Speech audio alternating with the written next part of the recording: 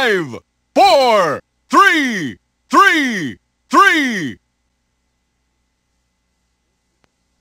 This week on Flights of Fantasy is now more for the the full busty of Lara Croft and the busty ending of Resident Evil 2. All this and more on episode 111 of Flights of Fantasy.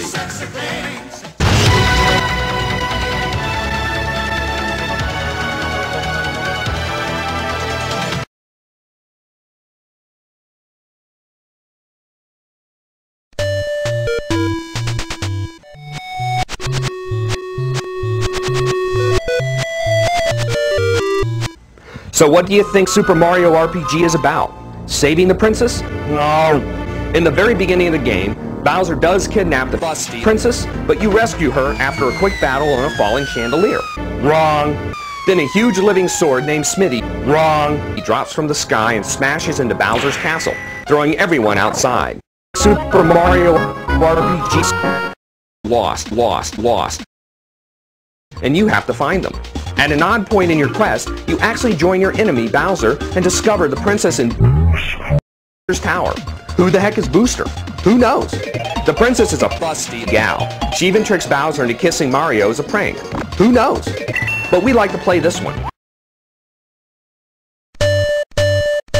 One of the first video games, Mega Man X, was long awaited for Mega Man fans who experienced his NES adventures. But Mega Man X is the first Mega Man game in which he does not make an appearance. The new boss is Sigma. Who the heck is Sigma? Who knows? These eight talented robots must be defeated before you can find Sigma's fortress and end his plan of world domination and domination. The character you play is not the same Mega Man that appeared in the NES games. Mega Man X, or X for short, is a descendant of the original Blue Bomber. Wrong. While Rush was the usual companion in the previous Mega Man games, the Wonder Robot Rush has taken his place in this Super NES sequel. At the beginning of the game, Super NES is more powerful than you, but later in the game he will die and leave you his powers.